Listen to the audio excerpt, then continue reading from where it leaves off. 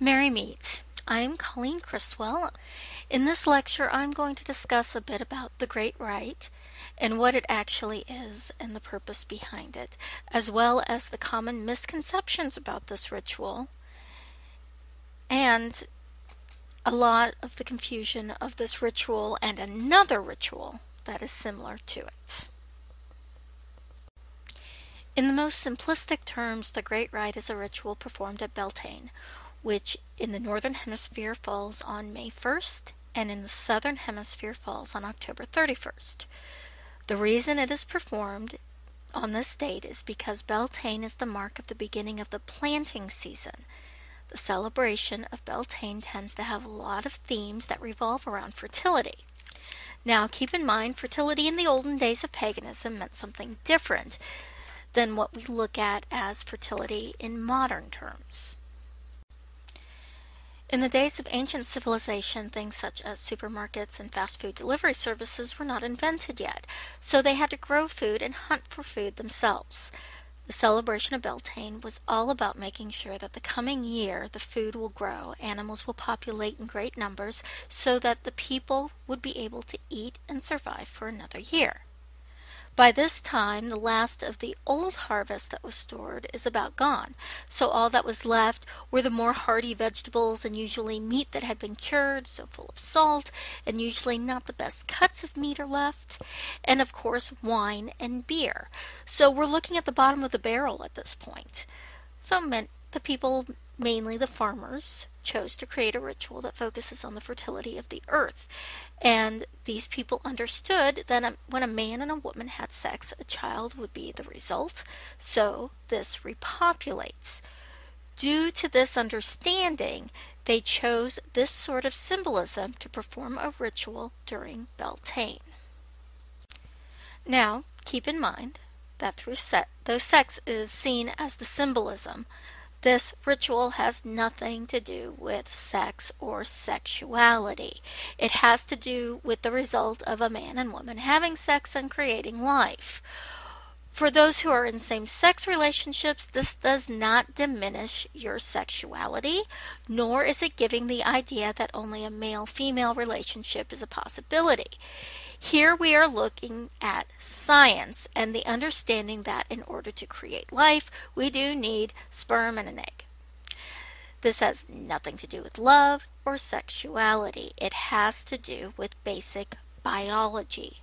So, even though those in same sex relationships can still work with this ritual, it is just understanding that we are not talking about human sexuality. We are talking about the understanding of how life is created and in ancient civilization, before we had the scientific breakthroughs and so on, the understanding of the act of a man and woman having sex was what was understood as a basic fact.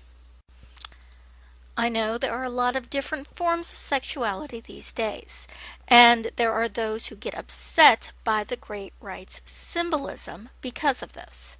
However, that is not what the ritual is about.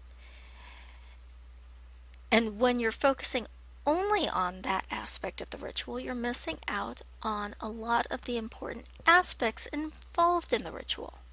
So remember, this is not a ritual about sex, it is not about sexuality, it is about the earth, plants, and animals. That is all. So, first, let's get into the understanding of sympathetic magic. What this is, basically, is doing something on a small scale to represent something on a much larger scale. Sympathetic magic can be used for a number of things. In most common uses, we use it for healing. In puppet magic, for instance, we use the understanding of sympathetic magic. We create a puppet to represent the person we are healing or that we're performing magic on. Yes, you can use a puppet for other forms of magic, but in this lecture I will be using healing as an example. So, in the example of healing, a person creates a puppet in the image of the person who needs healing. So, let's say Jane Doe is having issues with stomach pain. John Doe then creates a puppet for Jane Doe, and in the center of the puppet he has taken a string and knotted it up around the center of the puppet to represent the pain. Next, he would charge the puppet to give it life, to connect it to Jane so that he could help her out through the working. Then the spell he would take the string and start to unknot and remove it slowly from Jane to help ease up on the pain she is feeling. So here we have a small scale representation of Jane and her pain. And John is helping remove that pain from her in a small scale. This is sympathetic magic doing something on a small scale to represent something on a much larger scale. So, the great rite, we are doing something on a small scale, such as using symbolism to represent sex, to mean something on a much larger scale, meaning fertility of the plants and animals so that they will repopulate and the people can eat have food. This is not about human fertility or fertility of the mind, but about the earth being fertile and granting life to again so that humans living there can survive. The way the Great Rite is traditionally performed is symbolically, not physically. So, no, a man and women don't traditionally sneak off and do the do, as my daughter puts it, but is done symbolically using items that represent the god and goddess. Who can perform the Great Rite? Well, in a coven, usually the leaders of the coven will perform it. However, as most people are solitary, any person can perform this ritual. Traditionally, we use the athame to represent the god, though a wand could be used instead, and a chalice filled with wine for the goddess. So the athame or wand, of course, we look at it as a phallic shape so therefore the male aspect. The chalice we look to as a womb, and the wine traditionally would be red to represent the waters of the womb. Now, in today's understanding, we know that the waters of the womb are clear, not red, but the red represents the blood of the woman, which was the understanding of the people at the time, because that was what was shed when a woman was not pregnant. So to them, the woman's womb would be red. The athame would be plunged into the chalice, blade first, to represent penetration. Now, where that is the traditional way to perform the great rite, it is not the only way. These days, there are tons of ways we can choose to perform this ritual. And for those who are uncomfortable with the symbolism of the athame and the chalice, those who are sensitive to the idea of the male and female joining sexually, these ways are sometimes helpful to use. Flowers being placed in a basket or vase can be used instead. Fresh cut flowers are easy to get these days, though not something that was available that much during that time. So by placing flowers in a basket or vase, you are bringing life and growth to you. Also, during Beltane in the Northern Hemisphere, this date falls on May 1st, which corresponds with May Day. The tradition for the May basket, which was a small woven basket with flowers in it, which would be left on a door of random people to bring a little love and happiness into the world. Later on, this custom was rebooted in the 1960s, 1970s by using construction paper to weave the baskets.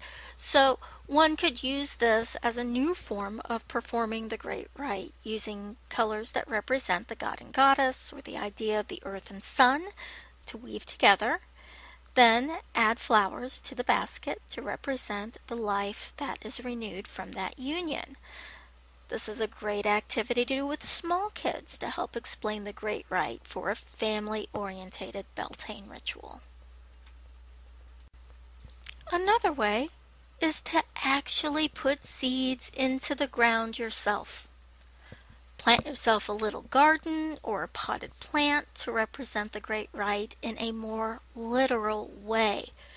Again, The whole point of the Great Rite is because we are starting the planting season. So, by planting the seeds yourself, you are doing a literal version of the Great Rite's purpose and focusing that energy on a larger scale as to the worldwide understanding that all the farms around you will grow crops and life will completely return.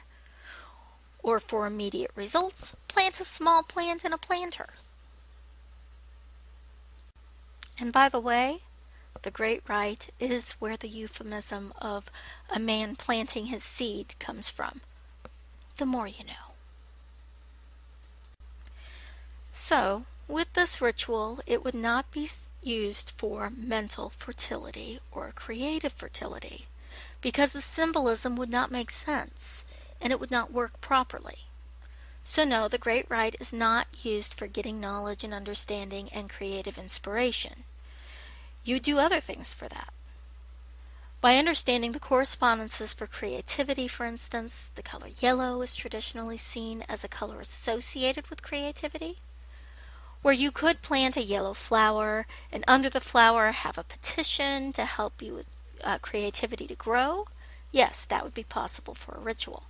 And even though you are using the idea of planting something to help and aid that process, this is not the Great Rite or an example of that.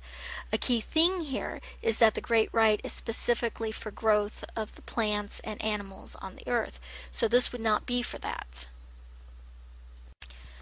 Another thing, this ritual is not used for human fertility. This is a big misconception. A lot of people seem to think the Great Rite is something that is used for hands, fastings, or marriage ceremonies, and it is not. And if you took the entrance exam and put that in your going back over essay that it is used in this sort of ceremony, I will always state the following. Unless you are planning on having a reality show on TLC, this is not something appropriate for hand fasting or marriage. Remember, the Great Rite is something done on the small scale to represent something on the large scale, as in worldwide. So, not really appropriate. So, why do many books and even information on hand fasting include this misinformation? This is actually very simple. They are confusing the Great Rite with another ceremony called Hieros Gamos. The reason why this is often confused with this is understandable, because a lot of times they use similar symbolism. Hieros Gamos comes from the Greek and is a sexual ritual that is traditionally included in a hand fasting ceremony. The bride and groom take on the representation of the deities, usually the couple's patron deities, or they could be a god and goddess that represent love and marriage. This ritual is often seen in numerous other cultures, such as Hinduism, the ancient Near East, Buddhism, and others. Usually, this is only performed with a man and a woman, and is used in a hand fasting to represent the union of the couple and is usually done with the athame held by the groom being placed in the chalice of wine being held by the bride, and him inserting the blade into the chalice. This ritual can also be done physically after the hand fasting ceremony in private with the bride and groom consummating the marriage. This is why there is the idea that the great rite is performed physically because the Hieros Gamos is sometimes performed as a physical rite instead of symbolic. Other things the Hieros Gamos can be used for is the precursor for what is known as sex magic. Hieros Gamos can be part of sex magic rituals, and there are numerous other forms of sex magic that help in raising energy, either as a solo practitioner or with a partner. And this is something that is totally different and again gets confused with the Great Rite. So, why did things get confused? Well, this happens when the creator of Wicca, Gerald Gardner, didn't fully research things. Let's be honest. He confused the two terms And due to this, there is a lot of misinformation in countless books and Wiccan writers who have continued on with Gardner's misinformed understanding of the Great Rite. Gardner adopted the idea of the Hieros Gamos and mislabeled it as the Great Rite and chose to include it as part of the third degree initiation ritual. This ritual was meant to be a symbolic ritual. However, some groups who are offshoots of Wicca chose to do the physical representation of the ritual, which brings a whole other issue. Let's first understand Gardner's thinking in this. As we understand the Hieros Gamos, the two participants take on the representation of the deities. Now, when we understand the purpose of the third degree initiation, this means that the initiate has achieved the practice and study that will grant them the title of a high priest or high priestess. When they have this title, during coven rituals, they then invoke the god or goddess and represent them during the coven rituals. Priests and priestesses usually represent the elementals during rituals. During initiation ceremony, the person performing it is always the opposite sex than the initiate. So, one represents the god and the other the goddess, and the ritual is performed to solidify that. Seems simple enough, and again, when Gardner chose this as a part of the initiation ceremony, it makes sense. And his view was that it was to be symbolic, not physical. As I stated, there are some groups who choose to do a physical version of this. And let me tell you, be leery of any group who expects you to do this physically. Now, if you are a solitary practitioner or working with a partner who you are in a committed relationship with, sure, go for it. However, if it is for a coven and they expect you to have sex with your high priest or high priestess or in front of the coven, Red flags should be raised, as this is not appropriate, and more likely you're not joining a legit group. So, hopefully, this clears up a lot of the confusion about the Great Rite and helps you understand the difference between the Great Rite and Hieros Gamos, how they are used, why they are used, and when they shouldn't be used. Thank you for joining me, Merry Part.